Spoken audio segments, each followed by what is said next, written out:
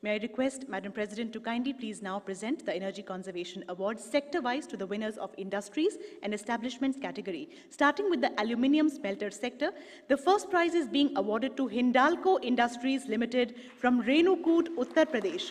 Sri Narisetti Nages, cluster head, will receive this award.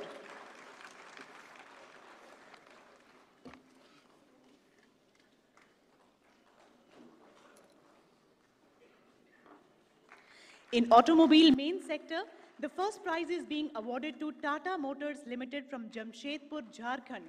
Shri Vishal Badshah.